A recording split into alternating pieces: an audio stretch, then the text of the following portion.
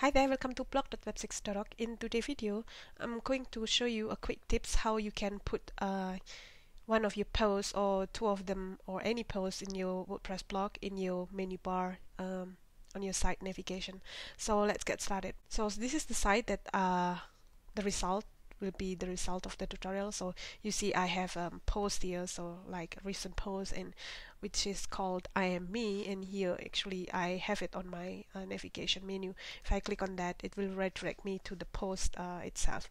So we work with this website, so wbdemoblog.com, and as you can see, I don't have any menu here. And let's get started. First, we're going to go to um, dashboard, so click typing on slash and wp admin on the top the URL and here we go to appearance and menus.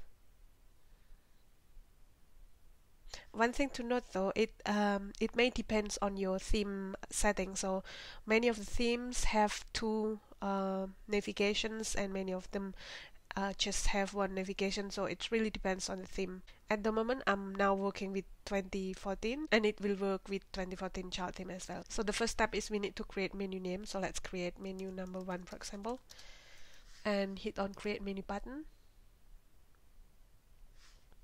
And then uh, once we've done that we're going to go to screen options on the top and we see that there are post on show on screen sections here. If we click on that it will show us the post. And if also you can put the tags and format as well. For example if I check on tags it shows tags so you can also click all of them. So you will have more options here. So let's just click on all of them and uh, collapse again the screen options here. And then once you've done that you're going to go on post sections here click that and you will see the most recent of your posts. And if you want to view all you can click on view all on post but because now I've just have one post then you can just check on hello world and add to menu.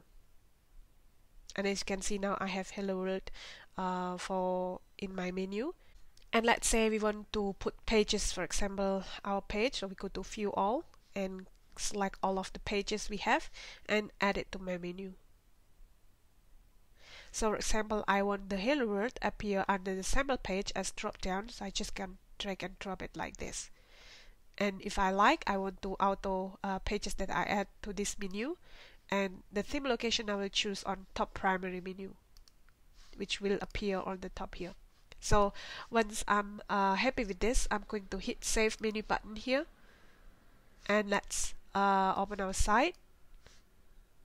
And as you can see, I have now home button and then sample page and then the post under the sample page because I just drag the hello world post under the sample page. So it appears under the sample page. So if I click on hello world post and it will direct me to the post permalinks of hello world. So uh, that's it guys. A quick tips for today and I hope it will be helpful for you. So thank you so much for watching. Please like this video or subscribe if you want any uh, WordPress tips like this. So take care of yourself and goodbye